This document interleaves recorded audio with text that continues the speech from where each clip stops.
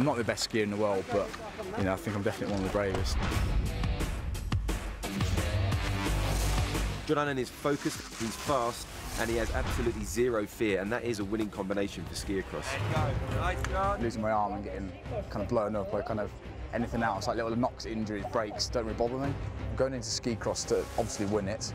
I think I've got a good chance in this one. You know, I'm committed and anyone that's in my way is getting taken out.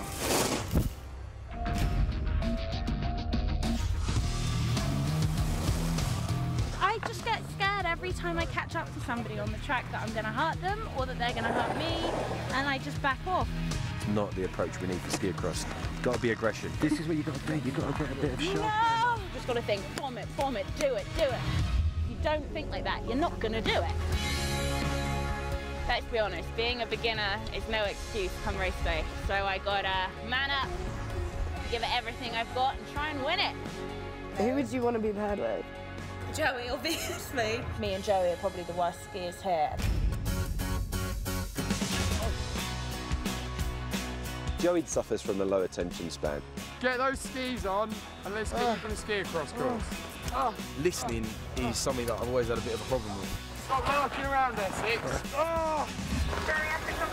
This is ski cross. It has to be 100% focused from now on. If you don't get it right here, you could get hurt. Mate, I ain't got no sun while I'm out here. I mean, I've got one out of four chance of winning. What's the odds on that? Joey Essex, you are going to be up against Chloe Madeley, Yes. what are you saying? Jon-Allan Butterworth, Stay away from me. Louise Hazel. Yeah! let's Girls go, Chloe. Take him down, take him down. The last time I went head to head with our fellow jumpers, I ended up getting taken out by a wall in the snow cross.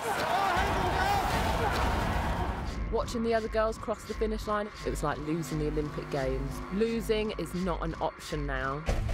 Obviously, Warren, we all want to get ahead, but what do you have to do to win? Race day, is going to be about getting to that first gate on time. I'm determined to play it safe this time.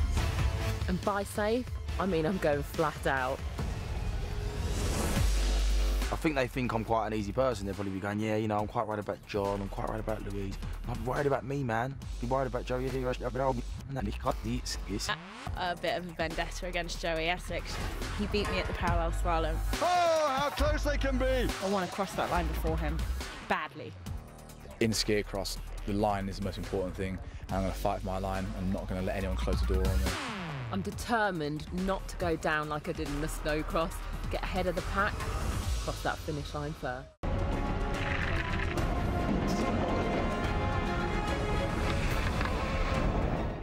Everything has to go to perfection. The worst thing that can happen is standing at the top watching the bog go down. You know, that would be like the most, the worst thing ever.